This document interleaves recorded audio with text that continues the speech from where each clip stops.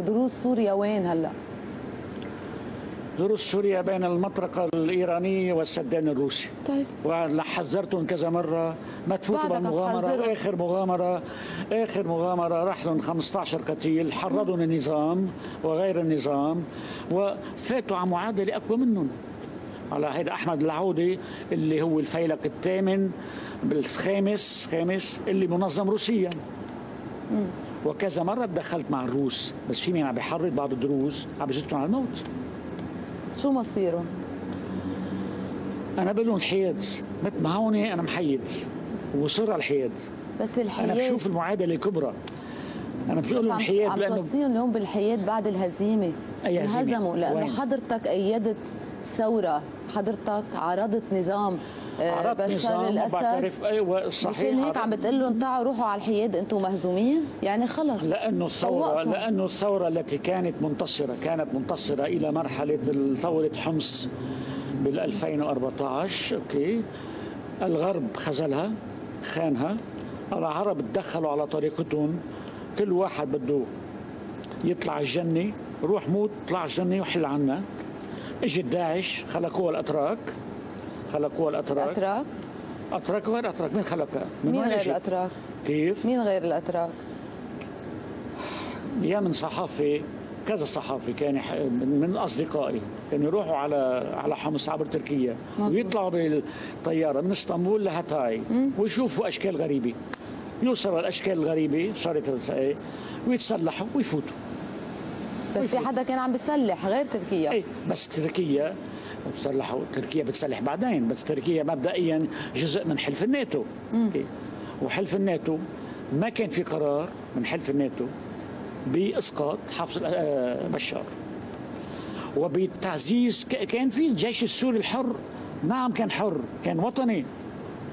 أخطأت. بعدين حبسوه. أخطأت. اليوم هلا- هلا- اليوم بتقول أنا أخطأت بانتظار الجثة. أنا أخطأت رهنت خطا بتقولها؟ حضرتك دائما تعيد مش قصة رهنت خطأ مش قصة رهنت خطأ. شفت بعدين المعادلة تنقلب ضد الثورة السورية. بالآخر صحيح شجعت الجبل شجعت الجبل هذا الشيخ ال- البلعوس حطوا له سيارتين فخختين تي- تيتأكدوا إنه مات. لذلك عم بنصح ما تبقى من وط... من أهل الجبل. ما تروحوا ما تروحوا فرق عملة. بين لعب الدول على سوريا نعم في لعب الدول على سوريا وفي لعب الدول اليوم على طب وين المنطقة بدهم يكونوا؟ كيف؟ وين بده يكونوا؟ بيكونوا مع بعده النظام قائم، وين بده يكونوا؟ هن بدولة صاروا على الشيء يستخدموا آخر مرة ما يسمى الجيش الوطني جيش الدفاع الوطني يعني النظام شجعهم للهجوم وتركهم النظام اللي تتذكري تتذكري ب شو اسمها هذه بعرسال فجأة المقاتلين الدواعش وغير الدواعش طلعوا ببساطة مفيمة وقطعوا كل سوريا إلى دير الزور. وقسم منهم اجى على الشام وقسم منهم بعدين راح على منطقة بسموها بجبل دروت منطقة اللجا. هذه منطقة صخرية. احتموا فيها. ومن هونيك عملوا غارة إحدى الغارات على الجبل. كله على ال remote control.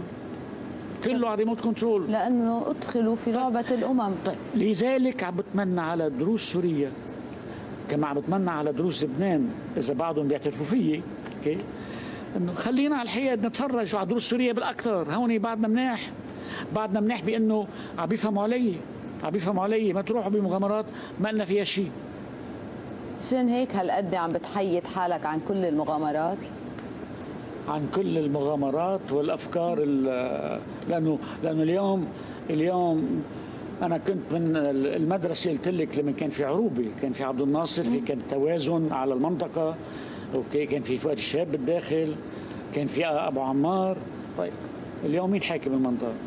الإيرانية والأتراك اسرائيل لمن؟ يتقاسمون يتقاسمون جبنه ما تبقى من جبنة العرب.